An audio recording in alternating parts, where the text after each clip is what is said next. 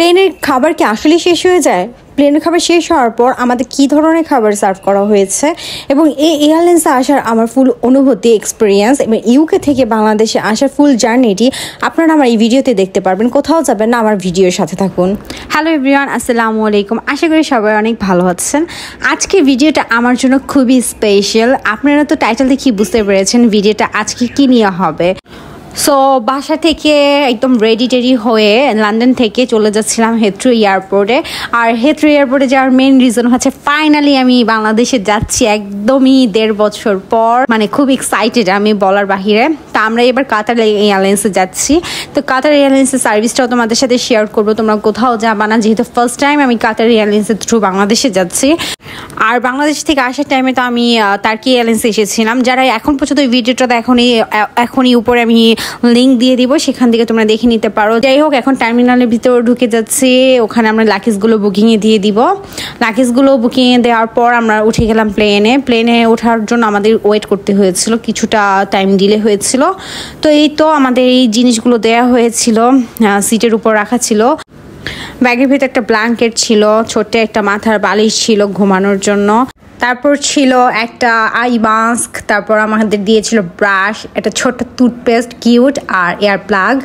আর আপনারা তো জানেনই যে করোনার পর সব প্লেনেই হচ্ছে স্যানিটাইজার একটা প্যাকেট দেওয়া হয়, সেই জন্য ওখানে ছিল mask, gloves hand hand sanitizer একটা ছোট্ট বোতল। এই তো এক ঘণ্টা পর আমাদের খাবার সার্ভ করা হয়েছে। খাবার প্লেনে অনেক হচ্ছে সাউন্ড ছিল, আশেপাশে কথা শোনা যাচ্ছিল না, তো আমি এই জন্য ওভার ভয়েস দিতে বাধ্য হচ্ছি। তো ফার্স্টে এসে বলতেছে যে ওদের মিল শেষ হয়ে গেছে, তো আমরা বললাম যে, আর তাহলে কি অপশন আছে? বলছে যে, ওদের কাছে পাস্তা আছে। তো ঠিক আছে পাস্তা দিয়ে ভাই দিল। সো পরে দেখলাম যে এটা চিকেন পাস্তা ভাবছিলাম বাট পরে দেখলাম যে চিকেন পাস্তা না, এটা চিজ পাস্তা আর চিজ পাস্তার সাথে ছিল অনেকগুলো টমেটো সস বাট আমার একটা কোয়েশ্চেন হচ্ছে প্লেনে যেহেতু যাত্রী কাউন্ট করে উঠানো হয়, তো কেন হচ্ছে তাদের খাবার শেষ হয়ে যাবে? তো যাই হোক, খাবারটা আমার কিছুই ছিল না, খুবই মানে বাজে একটা খাবার ছিল। আমার একদমই পছন্দ হয়নি খাবার, আর খাবারের টেস্ট ভালো ছিল না। বাট ওদের এই ডেজার্টের আইটেমটা ভালো ছিল, আর জুসের আইটেমটা ভালো ছিল।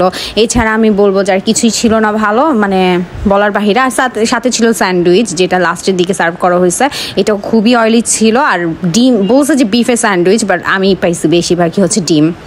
তারপর ল্যান্ড করলাম কাতার এয়ারপোর্টে কাতার এয়ারপোর্টে একটু ঘুরে টুরে দেখলাম। আর যেহেতু বড় একদম লং ট্রানজিট ছিল, তাই পুরাটা ঘুরে দেখার আমার এনাফ টাইম ছিল। লং ট্রানজিট থাকার একটা মজা আলাদা হচ্ছে ওই এয়ারপোর্টটা ঘুরে দেখা যায়। তো কাতার এয়ারপোর্টটা অত বেশি বড় না compare then Istanbul but okay আমি ফুল কাতার এয়ারপোর্টে ঘুরে দেখলাম। ট্রানজিট হওয়ার পর চার ঘণ্টা পাস করার পর দেখলাম যে ডিলে হচ্ছে। ডিলে তো ডিলে মানে দুই ঘণ্টা পর হচ্ছে আমাদের প্লেন ছাড়বে এরকম ডিলে তো ভাবলাম যে একটু ঘুরে নেই। তারপর বসে থেকে খুবই বোরিং হয়ে গেছিলাম। তারপর ডিউটি ফ্রির ওখানে গেলাম। ডিউটি ফ্রির ব্যাপারে একটা খুব ইম্পর্টেন্ট কথা। মানুষ ভাবে যে ডিউটি ফ্রিতে হয়তো বা খাবারের দাম কম বাট একদমই মিথ্যা কথা। ডিউটি ফ্রির খাবারের দাম আসলে কম না।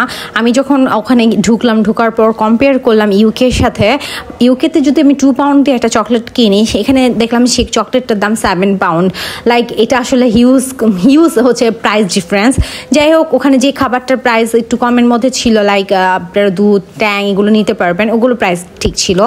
যাই হোক ডিলে হওয়ার পর আমরা প্লেনে উঠে পড়লাম, তখন আর ভিডিও করার টাইম পাইনি।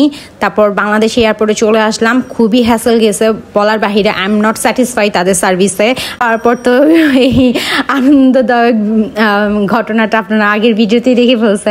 তাও ছোট একটা ক্লিপ শেয়ার করলাম।